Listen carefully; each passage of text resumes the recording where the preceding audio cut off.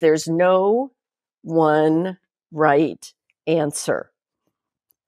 There's no one right expert. On this summit, you're going to be hearing from tons of experts. You're going to be hearing stories that inspire you because the animals have lived so long or been so healthy or recovered from hyperthyroidism or recovered from feline eosinophilic granulomas or whatever. It doesn't mean that that is the answer for your cat, even with the same problem. So you are the one that lives with your cat, cats 24 seven. So you're the one who really can take all this information, decide to use some of it, and then see what happens.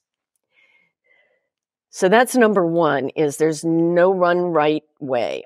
Number two, and this is really critical, and the main difference between how I was trained as a veterinarian um, and and what I developed, what I learned as I became more holistic, is there the cause, whatever the problem is, unless it's something really like a broken bone or you know a, a tooth that just broke off or something, unless it's something like really a cause like that. Something acute. Yeah. So there could be a physical thing, but other, other than that, the cause of all problems is an imbalance in the energy field.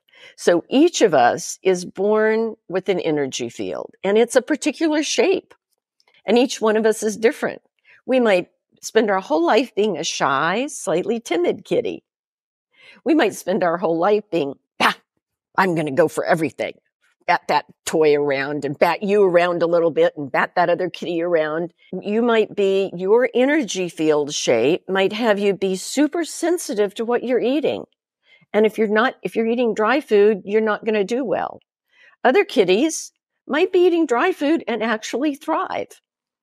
I never would recommend dry food because it's not good for the planet and it's not as good for health. However, again, when they're sens- not sensitive to it, it might not be as big a deal. So whatever they may be sensitive to toxins, they might be more sensitive to the emotions of the people around them. This is something you're born with. Oh, wait a minute. Well, that's genetics. You can't fix that. Well, yes, you can. If you increase the vitality and improve the balance of this energy field, then what they're sensitive to has a higher uh, margin, it has a higher trigger level. So if they're born with a sensitivity to foods and they're perfectly healthy and vital and wonderful, they may do fine eating food that's not as healthy as, as it is for other, other cats. Um, so the key is to improve this vitality and rebalance because here's what happens. If the vitality is a little lower and there's something they're susceptible to, and we don't always know what it is, this energy field is then pushed out of balance it wants to get back in balance again as much as it can. What's normal for it? The only way that it can get back into balance is to produce a symptom. So that's the cause of every symptom of every disease is that the energy field got pushed out of balance and created a symptom. Therefore, when you, as we did in conventional, do in conventional medicine, when you focus on getting merely getting rid of a symptom, you're not helping that energy field rebalance itself. Make sense? Yes, definitely. It reminds me a lot of uh, in Chinese medicine how each type of personality is a different constitution that's associated with a different element, and they're all prone to different imbalances um, that then we have to rebalance to restore that vitality. And even in Chinese medicine or in any approach, and that's why Chinese medicine is holistic or can be holistic. Yeah. Is if you have a good balance, even before there are any symptoms, if you're working on maintaining balance, maybe you can identify through pulse taking, through uh, tongue, through just observation. This shy, timid cat or this whoppy cat might fall into a wood, metal, etc. And then you can keep by keeping the balance high. They're not. They will not develop those illnesses. Or if they do develop the illnesses, you then work at bringing them back into balance.